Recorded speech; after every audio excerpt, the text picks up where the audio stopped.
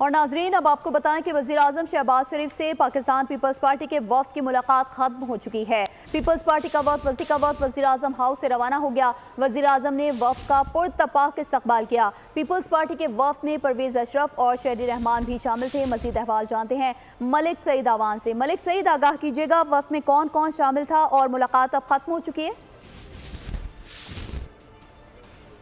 वजी अजम शहबाज शरीफ की जानब से chairman peoples party Bilawal Bhutto Zardari को आज एशाइए पे मदू किया गया था, जिस पर पीपल्स पार्टी के चेयरमैन बिलावल भुटो जरदारी आज अपने वफ्त के हमरा जो है वजी अजम हाउस में आए।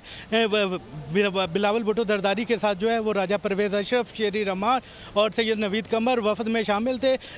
वफ्त में एशाइए के दौरान जो है मुख्तलिफ़ इशूज़ पर डिस्कशन हुई, जिसमें बिलावल भुटो जरदारी की जानब से मुल्क में महँगाई और बिजली के ज़्यादा बिलों का मामला भी उठाया और वजी अजम से कहा कि एक तवील मुद्दती हाल जो है वो चाहिए, जिससे बिजली के बिल जो हैं वो तवील मुद्दत के लिए कम हो सकें और ये शार्ट टर्म रिलीफ जो है ये आवाम के लिए काफ़ी नहीं है। इसके अलावा बिलावल भुटो जरदारी ने हुकूमत की माशी पॉलिसियों पर तफजात का इजहार किया। ज़राए का ये भी बताना था कि मुलाकात में पंजाब के हवाले से भी मामला डिस्कस आए कि हुकूमत और पीपल्स पार्टी के दरमियान पंजाब में जो हकूमत साजी का माहा हुआ था, उस माहे पर अमल दरामद नहीं हो रहा।